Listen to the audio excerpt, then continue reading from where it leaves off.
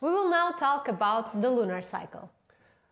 Our view of any of these cycles is always from an electrical perspective, and that is what we focus on today.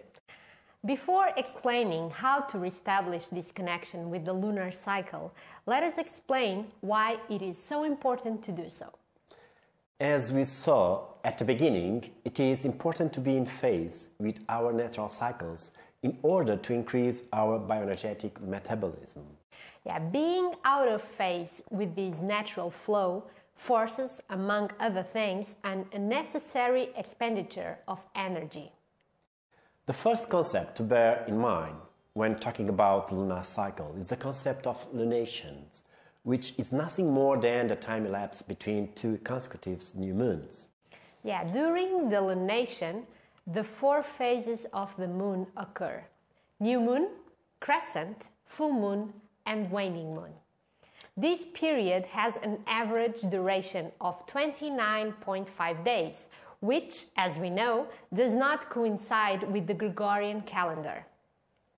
Speaking of the Gregorian calendar, Yes, about 500 years ago, we stopped using the calendar that followed the natural flow and instead began to adopt a commercial concept, a single language common to different countries, the Gregorian calendar. This calendar wrongly tried to adapt nat- nature to human needs and not the other way around. The connection to the lunar cycle and therefore to the solar cycle was lost. Right, Nuno? yeah. My Jewish culture has a very interesting peculiarity. We have a lunisolar calendar.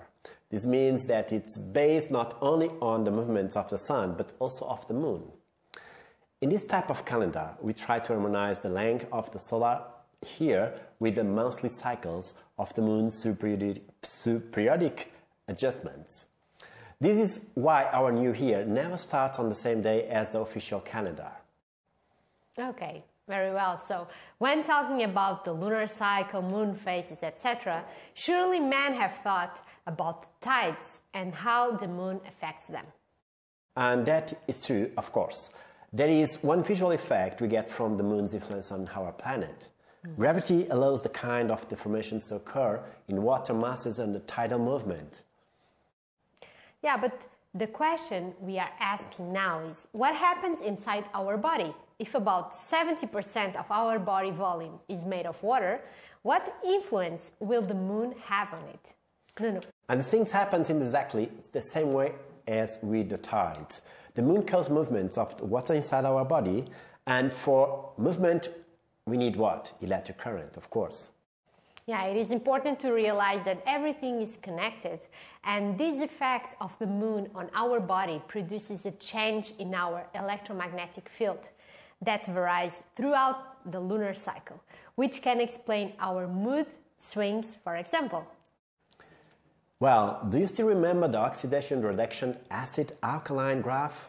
The lunar cycle, like the solar cycle, also brings with it the concept of oxidation reductions acid alkaline. So let's apply the lunar cycle and its four phases to this graph. Okay, so first of all, there is the new moon. And what is the new moon? Just as the name suggests, it is the new beginning, the start of a new cycle. At this point, our body is ready to begin an amazing journey. It is especially important to support the kidneys through supplements or frequencies, such as Gold Cycle Pure, in order to prepare them for the next phase. And the ascending phase is a very dynamic phase. The reduction phase is over, which means more energy to start projects. You can use the energy program from the gold cycle if you want to increase your skills and vitality. This is the phase when you are literally ready for war. the full moon is the climax. It's the maximum peak that we reach. It's the ideal period for a full manifestation. It's the period when we have everything in our hands. We are kings. we have the energy to express our intentions to the world, and our affections are more expressive. As the past journey has been very demanding, it is time to give liver support through supplements or frequencies like the pure of the gold cycle again. So, next comes the waning phase, which is the period of reduction, of slowing down, of putting your foot on the brake.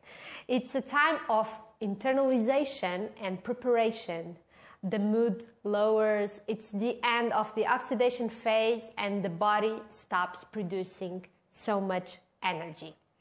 Although it may not seem like it, it is the most important phase of all, as it will determine our preparation at the moment of starting again and the whole cycle that follows. Well, now that you have all this information, take a photo of this incredible slide and try to understand your body, your emotions and feelings, your mood and energy according to the moon cycle.